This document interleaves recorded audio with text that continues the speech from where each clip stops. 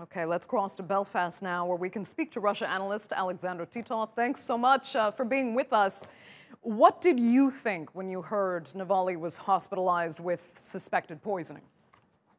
Well, I was hoping that it would be anything serious, but uh, reports uh, confirm that it is actually very serious, and he is really fighting for his life.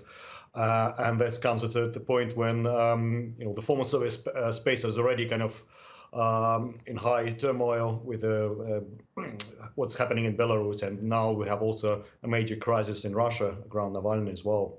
Right. As you mentioned Belarus, I mean, there are some suspicions out there that if he was targeted, it could be for what some were expecting him to do in Belarus, uh, assisting the opposition, in other words, to potentially help get rid of Alexander Lukashenko.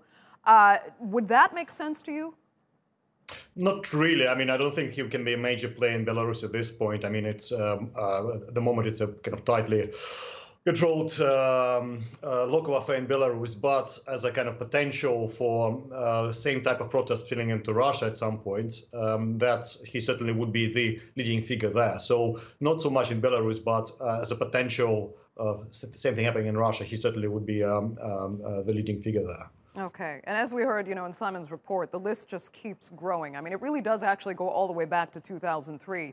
You have these targeted attacks and poisonings of, of Kremlin opponents. Some died, some survived, but uh, there never really seems to be clear accountability. Do you think that's why this potentially continues to happen? Well, I mean, there are, you know, you, you have to tell a, different case a different apart. You know, obviously, uh, you automatically you can assume that it's kind of Kremlin is doing, but you know, obviously there are a lot of other um, uh, uh, actors in Russia who are not um, strange to um, violent means. And you know you have lots of contract killings in russia and so forth. And of course navalny is a high profile figure not least for his anti-corruption investigation. So he would have crossed a lot of different um, you know stepped on different toes of very important people. So i think we need more um, um, information what actually happened to him but yeah basically there, there is quite a kind of a long culture of uh, uh, both political and business assassinations in Russia, and uh, you know that's kind of fits in the, with the role pattern uh, both by the state actors, which kind of been proven in Skripal's and the Litvinenko case mm. and other ones uh, inside Russia as well, which can be both political and uh, kind of business related as well. Right.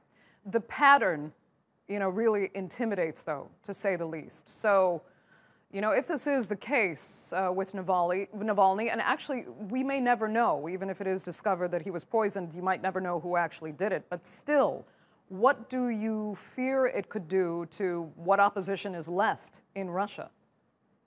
Well, I think uh, you have a very serious kind of escalation of what opposition politics in Russia, because essentially until now, I mean, there were high-profile assassinations. Usually they were uh, Politkovsky and uh, Nemtsov in particular. Usually they were linked to the North Caucasus. Uh, and uh, Ramzan Kadyrov there. Uh, this one, if it happens something we, uh, differently, would be major escalation in a sense that uh, Kremlin always preferred to deal with Navalny by other means, by uh, arrests, by uh, giving him sentences, by um, launching various uh, claims on him um, uh, for, for money and so forth. they never really moved to this, you know, outright assassination of a major um, um, position leader so far, uh, at least um, clear cut without a Chechen connection. So that would be a very kind of sad day for Russia if it did happen with with the Kremlin. Uh, and Navalny, as I said, was very kind of a, uh, you know totemic figure in that respect. That he was very fearless and um, um, um, unbowed critic of, of, of, the Kremlin. And I mean, I hope okay. that it's something else rather than just Kremlin's hit on him. Indeed. Okay, Alexander, we're going to have to leave it there. Thank you so much for joining us, as always, from Belfast.